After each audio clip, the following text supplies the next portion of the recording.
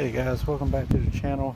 Today we are fixing a latch on a trailer. This one happens to be a carry-on, I believe is the make of it.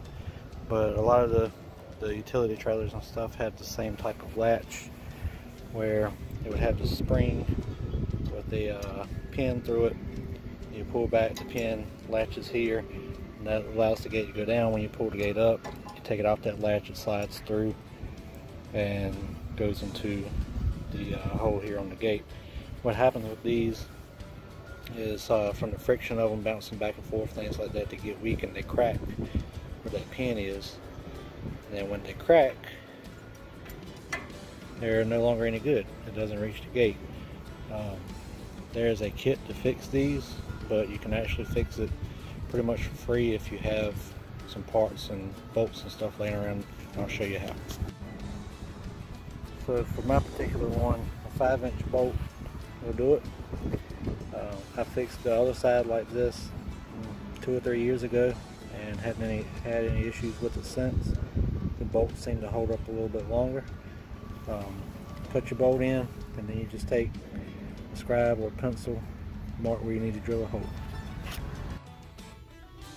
Your hole you're going to drill is going to be for whichever size uh, tension pin you're using uh, roll pin, I believe some people call them also.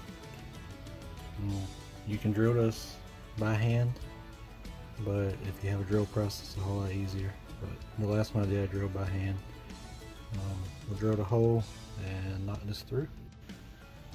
Alright, so doing it this way is assuming that you still have the spring, which most of the time when this thing breaks, the spring keeps enough tension uh, in the pocket that it keeps the uh, the pin here wedged and just the piece on the end here holding the drop gate. Is the only piece that falls off and you lose. This piece stays in the in the pocket with the pin wedged up against the rail. So if you don't have your pin um, I mean if you don't have your spring this probably isn't going to work for you unless you just happen to have a spring like that laying around.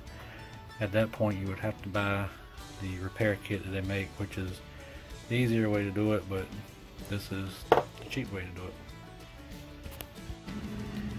Slide your spring down in the pocket slide your bolt in. Once you do that the easiest way I found to do it is to hold the spring back with some vice grips and then you can just knock your pin in right there. Knock your pin in take your vice grips off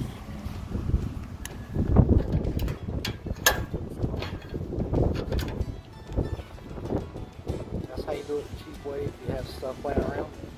If not, you can buy a kit. If this video is helping you at all, please hit that like button. Subscribe to the channel. I'll be doing more trailer updates along with all of my other uh, entrepreneurship um, videos. And I'll put the link uh, to Amazon for the actual repair kit if you decide to go that route if you don't have the the tools or the pieces laying around to do it, it's easier just to buy a kit and I'll put that link in the description below. Thanks for watching.